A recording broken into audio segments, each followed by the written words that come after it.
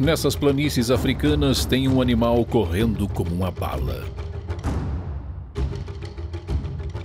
Ele foi adaptado pela natureza para conseguir tal feito. Ele é o guepardo. Eles conseguem correr a velocidades impressionantes e, por isso, conseguem capturar e abater vários animais. Mas um dia, o caçador pode virar uma presa.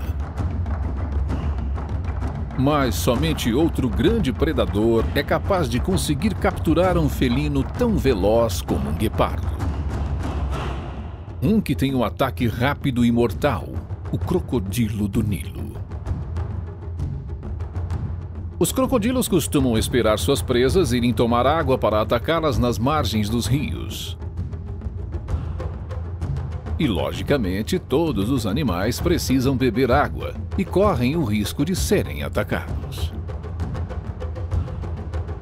Todos os animais podem ser atacados por esses predadores.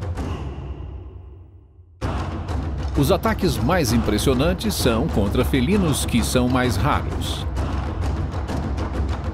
Os felinos, sendo predadores, têm mais agilidade que a maioria das demais espécies Porém, mesmo assim, em muitos casos eles podem ser pegos. Em um caso que foi registrado em vídeo, mostra um guepardo que foi beber água e não percebeu a presença do crocodilo e acabou sendo atacado.